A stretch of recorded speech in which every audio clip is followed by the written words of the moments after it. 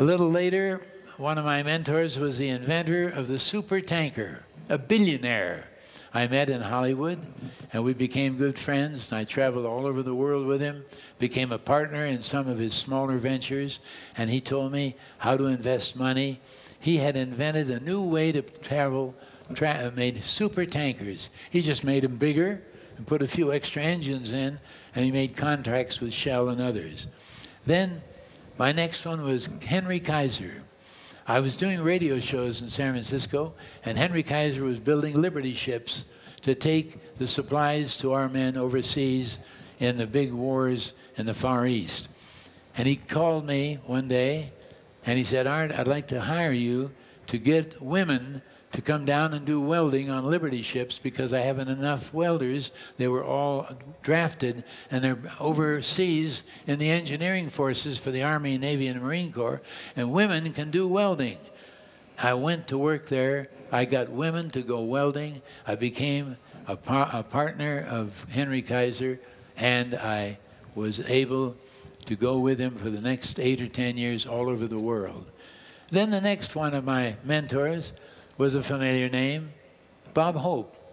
We became friends because we both had a lot of interests in the same kind of things, and we built moving picture studios, we built theaters all over the country, and we were in real estate, and we did very well together. So whenever you can make friends with somebody and get experience, can get advice, can get money at times, or can get you even a job, Look for it. Look for a way to impress guys in your same big business if you get into corporations.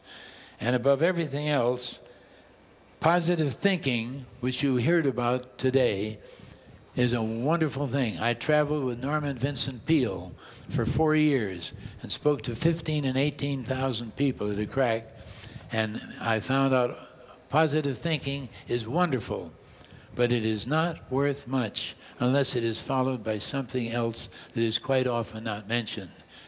Positive action. Positive thinking is great, but you got to move and you got to take problems and you got to pick up your phone. I was fired as the radio as the radio director of the San Francisco World's Fair when the chairman of the board called me in and said, Linkletter, what is going to be the opening of the World's Fair? And I said, I got it all lined up. I said, I got the President of the United States, I got Marine Corps, I got stars. He says, You have no imagination. Everybody does that. I said, Well, what would you do? He says, Go to the window and look out. What do you see? I said, The Golden Gate Bridge. I emceed the opening of the Golden Gate Bridge. He said, Well, you should have thought of it. Well, I said, How's that going to be the opening of a fair on Treasure Island? He said, if you knew anything about physics, you'd know that that bridge is the longest bridge in the world. That's what we're known for. And through those riggings coming up and holding the bridge is a westerly wind. And that wind has a humming sound as it goes past each cable. I would put microphones across the whole bridge according to the sound of each one of those cables, and we would open the fair using the Golden Gate Bridge as a harp, playing California, Here We Come. I said, Mr. Connick, you're not. He said, Mr. Linkletter, you are fired. I went home at 11 o'clock in the morning. I was out of work. The fair was opening in a month, but I knew all about fairs. I'd been through three of them.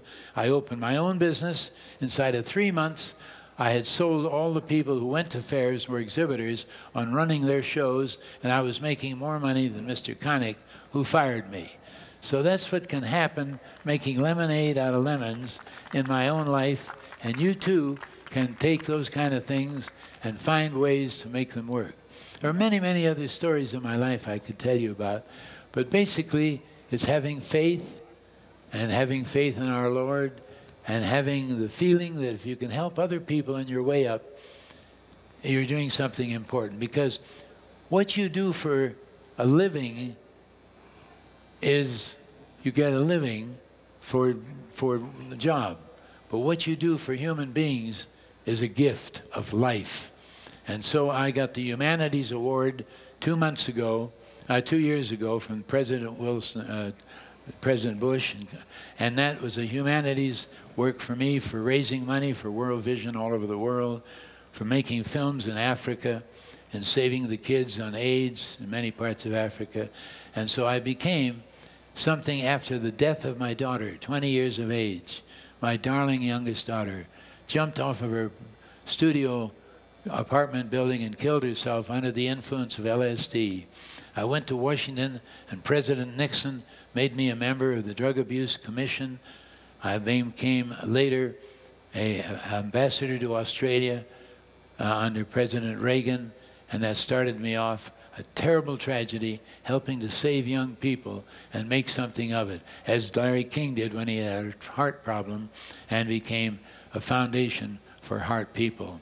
And so, when you ask me the question, as many people do, the one question I hear, when are you going to retire? I said, I have a book out called Make the Rest of Your Life the Best of Your Life.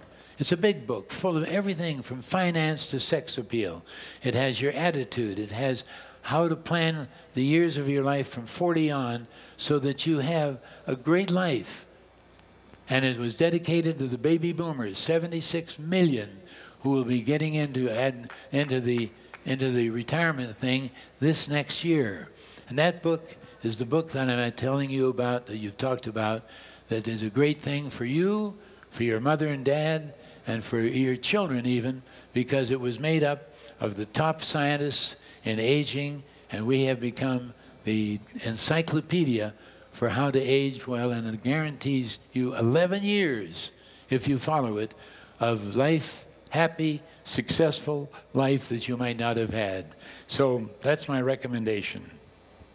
I'm going to conclude by my answer, really, as to why I will never retire. I never want to be what I want to be because there's always something out there yet for me. I get a kick out of living in the here and now, but I never want to feel I know the best way how because there's always one hill higher with a better view, something waiting to be learned I never knew. So till my days are over, never fully fill my cup.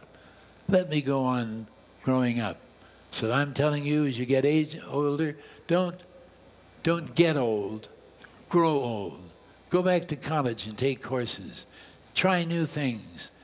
Look and see what your passion can do, which is meaningful you for you for the rest of your life.